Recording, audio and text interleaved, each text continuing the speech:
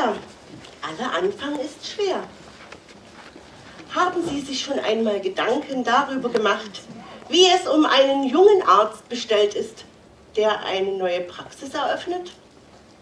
Meinen Sie, da strömen die Patienten nur so? Das dauert schon, bis der Arzt von seinen Patienten leben kann, die nicht ohne ihn sterben wollen.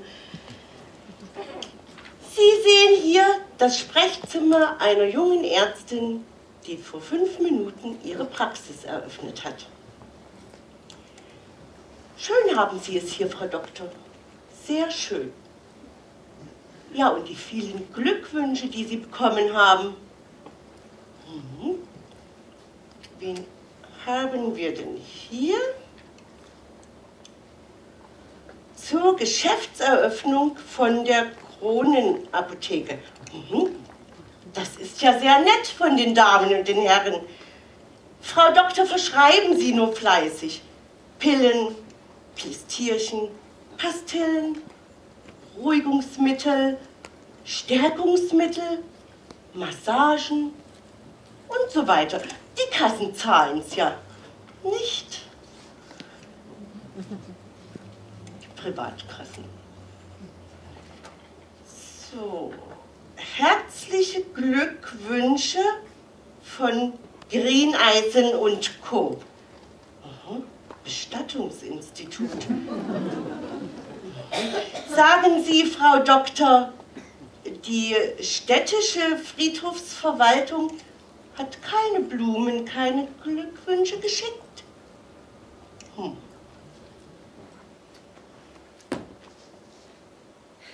Ich glaube, es wird Zeit. Ja, Frau Doktor, wir sind ja nun schon mitten im Stück und ich stehe immer noch hier. Sind denn schon Patienten da? Vier Patienten. Vier Patienten schon. Ja, was für ein Erfolg für den ersten Tag, Frau Doktor. Dann wünsche ich Hals- und Beinbruch, Frau Doktor, und immer schön verschreiben und immer aus der Kronenapotheke bestellen. Vier Patienten. Ein großer Moment für mich.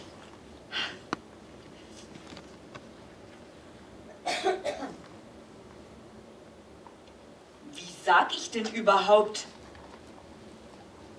Der erste bitte? Nein.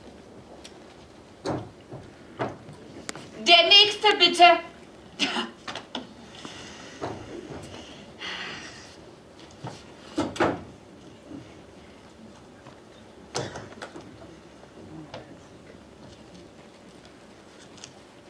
Guten Tag, Frau Doktor. Guten Morgen. Bitte nehmen Sie Platz. Machen Sie es sich bequem. Legen Sie ab. Danke sehr, danke sehr.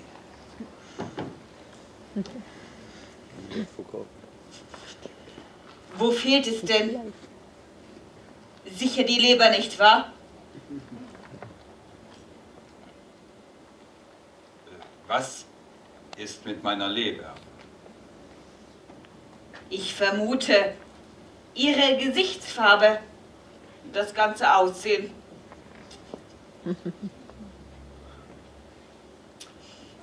Haben Sie hier Schmerzen? Nein, Dann hier. nein, Sie haben also überhaupt keine Schmerzen? Schmerzen mehr als genug. Aber da kann mir leider kein Arzt helfen. Das sind eher Schmerzen in der Brieftasche, chronischer Geldmangel. Sie verstehen? Nein, ansonsten geht es mir pudelwohl. Ich war mein ganzes Leben noch nicht beim Arzt. Es ist heute Ihr erstes Mal und da kommen Sie ausgerechnet zu mir? Aber ja doch, Sie sind doch genau der richtige Mensch für mich. Sie haben eine schöne neue Praxis eröffnet Und das noch in der besten Lage der Stadt. Es freut mich, dass Sie mir so viel Vertrauen entgegenbringen. Vertrauen, mehr als genug. Sie werden schon zahlen. Was werde ich zahlen? Ich verstehe nicht ganz. Na, wenigstens die Hälfte als Anzahlung, Anzahlung bei Lieferung und den Rest kreditieren wir ihm dann gerne. Ja, sind Sie denn kein Patient? Gott sei Dank, nein. Ich bin der Bezirksvertreter der chirurgischen Stahlschmiede Solingen. Wir hatten Ihnen doch eine schriftliche Offerte zukommen lassen. Sie führen doch als junge, Sie haben doch als junge Ärztin bestimmt großen Bedarf. Wir führen Zangen, Messer, Scheren, Skalpelle, Operationsbesteck, Nägel, Mikroskope, Brenner und Bunsenbrenner und natürlich Flaschen und Gläser in größter Auswahl. Wenn Sie hier mal bitte unseren Katalog betrachten wollen. Nein, danke. Ja, ein kleiner Irrtum. Ich dachte, Sie wären mein erster Patient. Und ich dachte, Sie wären meine erste Kundin. Schade. Aber im Moment habe ich wirklich keinen Bedarf. Vielleicht beim nächsten Mal. Mahlzeit! Auf Wiedersehen.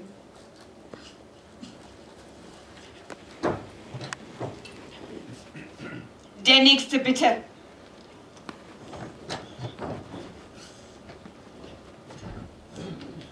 Liebe Frau Doktor, gute Frau Doktor, liebe, gute Frau Doktor. Guten Tag, gnädige Frau. Guten Tag. Setzen Sie sich doch. Ja, So. Und nun sagen Sie mal, wo fehlt's denn? also mir fehlt nichts, Frau Doktor. Ich bin zum Glück kerngesund, aber mein armer Mann ist schwer krank. Das ist aber schön. Das, das ist überhaupt nicht schön. Mein armer Mann ist schwer krank und zwar schon seit einem Monat. Kann ich ihm helfen? Ja, das hoffe ich doch, Frau Doktor. Deshalb bin ich ja zu Ihnen gekommen. Ich hoffe, dass Sie meinem Mann helfen können. Ich habe ja so großes Vertrauen zu Ihnen. Das freut mich aber. Ja, ja. Also, Erzählen Sie mal. also, äh, ja, weil mein Mann krank ist und nicht selbst kommen kann.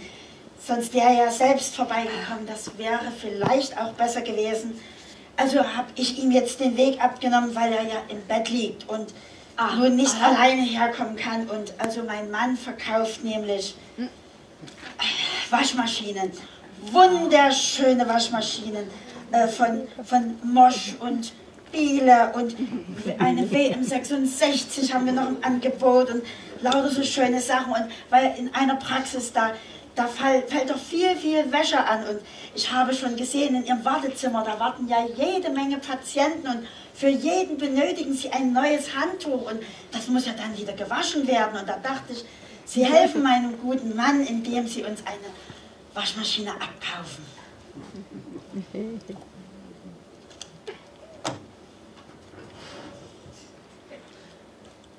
Meine liebe, gute Dame. Eine Waschmaschine habe ich schon. Sollten Sie allerdings für Ihren Mann einen Arzt benötigen, dann Danke. Einen Arzt haben wir schon. Und, und außerdem äh, zu so einer jungen Ärztin, die gerade erst ihre Praxis aufgemacht hat. Also, also da hätte ja mein Mann überhaupt kein Vertrauen. Und, und ich gleich gar nicht.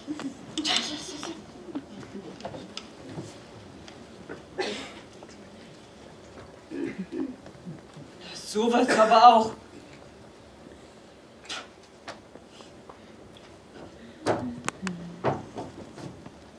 Der nächste bitte.